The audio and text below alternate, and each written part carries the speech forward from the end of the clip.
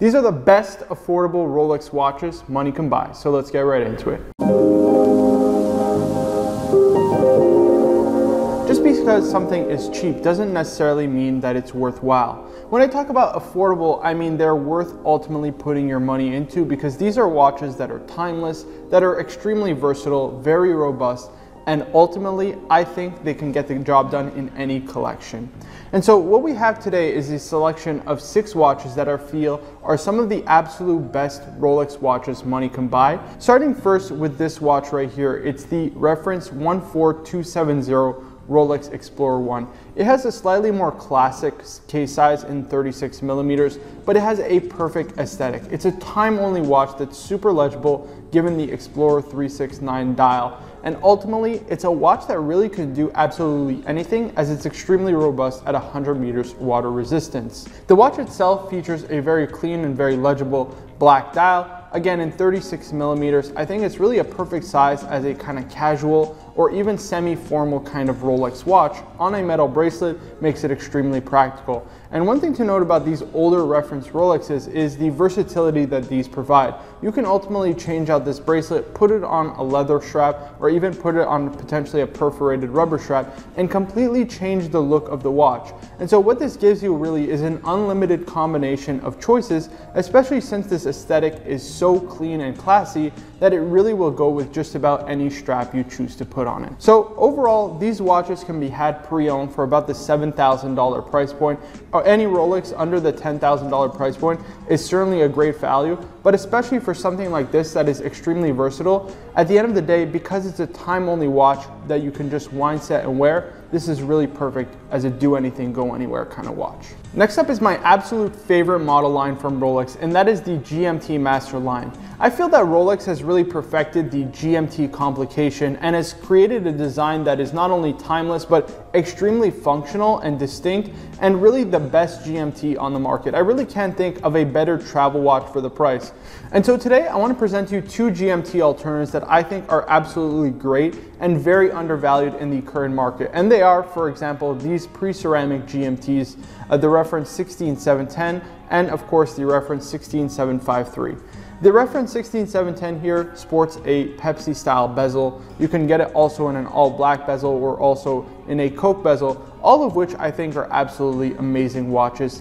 And the great thing is, is the functionality of it it having, of course, a GMT complication, but also the versatility. At the end of the day, you can pop out the bezel, swap it out with, for example, a black bezel if you have a Pepsi or a Coke bezel, and the same with the other three, and also swap out the bracelet.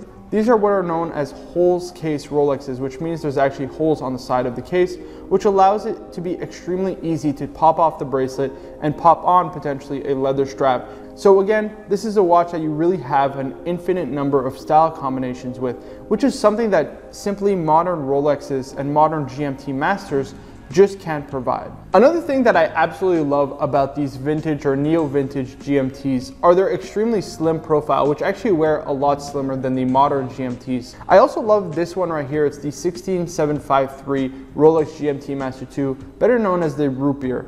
This kind of two-tone bezel with kind of the brown and gold along with that almost auburn-like dial is just an absolutely stunning combination. And again, these are ones that are super underrated, especially considering where the modern root beers trade at. And I feel that there is a charm to these that is really lost on the modern GMT Master 2 references, in particular the root beer. In terms of price, a 16710 in steel, again depending on the year, depending of course on the contents, you can get approximately in the 12 to $15,000 range Whereas a root beer like this, again, probably around the same thing, about the twelve to $15,000 range, depending on the year, contents, and the condition. When you think about it, I think these are just amazing watches overall. You get a super functional complication in an aesthetic that is super versatile that you can change up on the fly and super easily.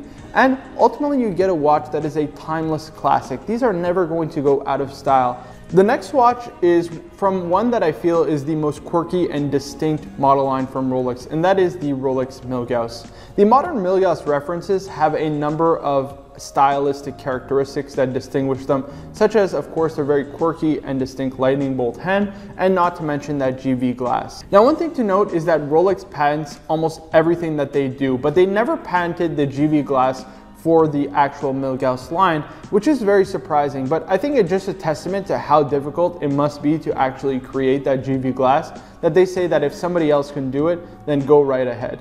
Overall, I really like the Milgauss model line because of its truly unique characteristics and design, but also because it is a super functional watch namely that it's time only and is built for purpose. It was that original tool watch that was meant as something that was amagnetic.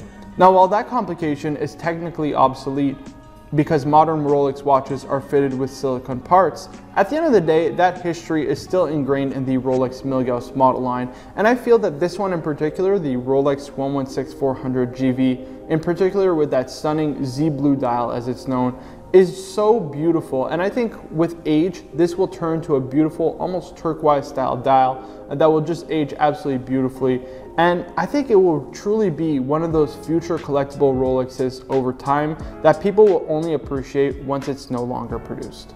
Price-wise, these will vary depending on if you're getting the black GV or the blue GV. The blue you can get around the 11 to $13,000 range depending on the year and contents and condition. I have to say, I think that is a phenomenal value overall considering the distinct design that you're getting and also that rich history of the model line itself and considering the fact that you're getting what I feel truly is a unique watch from Rolex. It's unlike anything else in their catalog, and in my opinion, it's really unlike anything else on the market today. Last but certainly not least is a model line that Roman has been singing its praises for for many years, and I couldn't agree more with him. It is those neo-vintage and vintage dates, the reference 18238s and 18239s, which we have here today. I feel these present themselves as a phenomenal value proposition overall. You're getting an all gold Rolex in a gold case, a gold bracelet with a day-date complication and in a model line that is arguably one of Rolex's most iconic for about the $17 to $20,000 price range. When you think about that, that is roughly where modern GMT Master 2s are trading at, namely in the Batman and Pepsi configurations. And at that price, to be honest, I'd almost want an all gold watch instead. Not only is it extremely functional, but it's also super distinct given the presidential bracelet that this watch is on. I love all the different dial variations that you can get, obviously all of which will impact the price, but you can get things such as stick dials, Roman dials, diamond dials, you can get even myriad dials, there are so many different combinations that you can get in the Rolex Day-Date, particularly in the 18238 and 18239 references. And what makes it awesome is that you can alter it according to your budget and according to your sense of style. And again, at that price point, the $17,000 price point to 20,000 for kind of your more muted designs, and 20 to 25,000 depending on the dial that it comes with and if it has a factory diamond setting. I think you really can't go wrong, especially when you consider where modern Rolex watches are ultimately trading at today these being, in my opinion, a lot more rare and a lot more valuable just because they're an all gold watch on a gold bracelet. Another thing to note about these vintage day dates is their size. These are 36 millimeters, which is technically a more classic size, but if somebody like Tony Soprano or James Gandolfini could rock a Rolex day date, frankly, I'm sure that everybody else can pretty much pull it off. And not to mention the fact that size trends for watches are actually declining. People are gravitating more towards the 40 mil case sizes and below, again, whereas previously they used to be 42 plus.